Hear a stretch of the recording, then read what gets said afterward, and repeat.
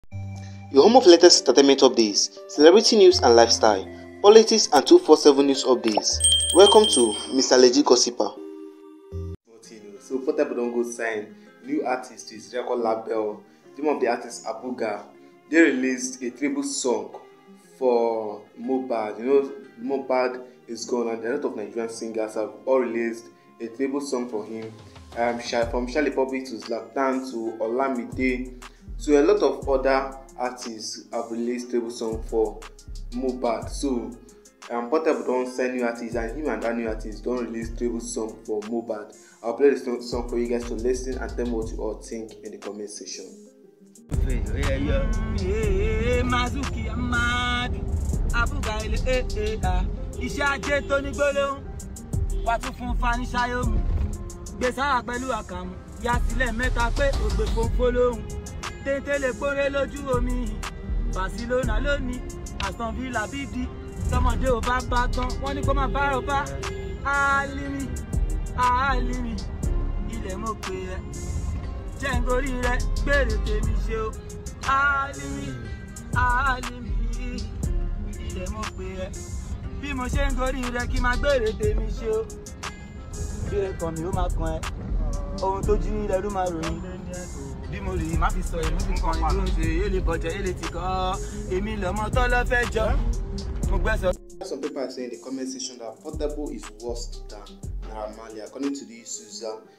the Susan said that uh, how many artists have Portable beat in the past? How many have he sent back?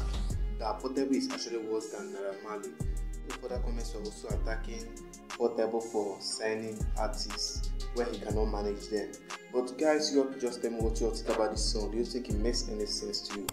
Tell me what you think in the comment section. Once again, it's Mr. Legit Gossiper.